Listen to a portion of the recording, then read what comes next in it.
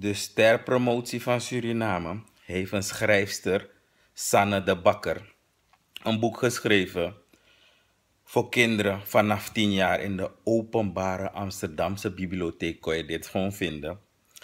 Uh, over alleen maar nonsens. Dus daarom, witte Nederlanders moeten niet schrijven voor onze kinderen. Of überhaupt voor kinderen, want ze weten niet wat ze, waar ze over praten.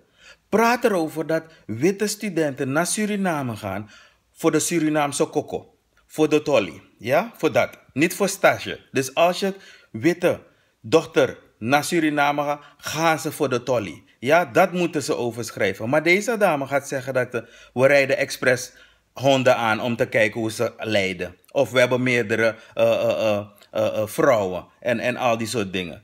Schrijf over die pedofiele actie wat hier in Nederland gebeurt. Schrijf over hoeveel voedselbanken erbij komen elke dag. Er, er zijn genoeg ellende dingen hier in Nederland. In plaats dat je onze kinderen wallelau vertelt over onze prachtige land.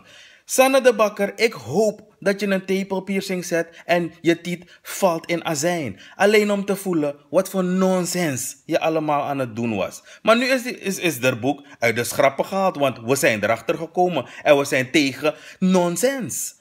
Dus ze heeft dus excuses aangeboden. Je mag oprotten, jij en je excuses. Wat toen je het aan het schrijven was, dacht je aan een bestseller in leedvermaak. En bij deze, zulke schrijfsters moeten helemaal niet meer aan de bak komen. Zo helemaal niet. Sanne de Bakker eet me mars. Dat is, is ook een titel voor je nieuwe boek. Baba zegt eet me mars en ik ga eten met mes en vork. Misschien een titel voor je boek.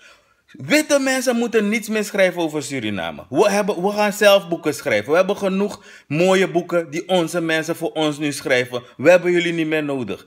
Het is in 2012 is het, in de, is het, is het bij de uitgever geweest. Het is pas geleden dat deze moerschond nog steeds bezig zijn om Suriname of andere Afrikaanse landen van de diaspora belachelijk aan het maken zijn. Het is genoeg geweest. Dus bij deze, ik hoop dat ik ooit een puntschoen krijg en ik zie ik punt je gewoon in je billen, laat mijn schoen vastzitten. Want je olle is sowieso een pingpongbal. Snap je? Is zo.